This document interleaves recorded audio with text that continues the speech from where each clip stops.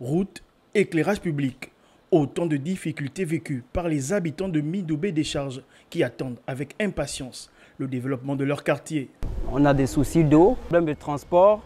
Voilà, les, les, les, les, transports ont du mal à, arriver ici parce que la zone n'est pas éclairée. Occasion pour ces riverains de solliciter l'aide des autorités compétentes. Et je vois aussi pour le problème d'éclairage. Si on a un problème d'éclairage à une certaine heure, nous sommes face au, au braquage, à l'insécurité et autres. Si on peut s'y médier, cela faire comme dans le quartier, on a vu des, on voit, on voit des éclairages un peu partout, des grands lampadaires. Ça nous fera vraiment plaisir pour diminuer l'insécurité. Merci.